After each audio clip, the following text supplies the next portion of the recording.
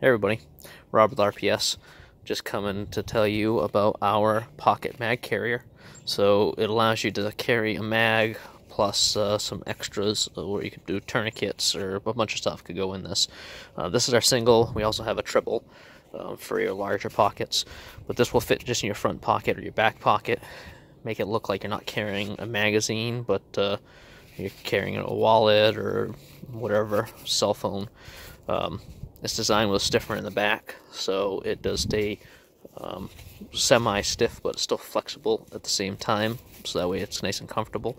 It ends up folding away, so when you put your hand in to grab it, if it'll fold away for you, so you can pull your mag out, um, and it can fit all different size magazines. So this one's a Glock 40 13 round. So let's try a couple others in it. Um, let's do over here. Let's do a smaller mag. Sorry for the fumbling here. Hard to do this one-handed.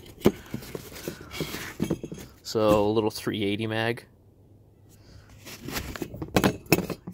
1911 magazine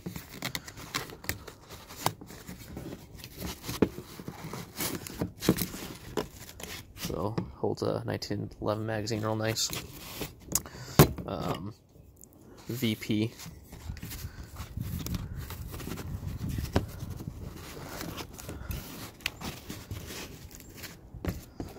It's a VP. Covers it fully to the top.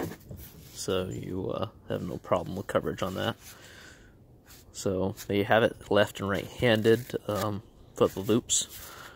And the uh, angled part ends up going so that way it allows it to stand up in your pocket because your pockets are never usually square in the bottom um, they're rounded or angled. So this helps keep it standing up. So that's what we have. Check them out on our website www.rpstactical.com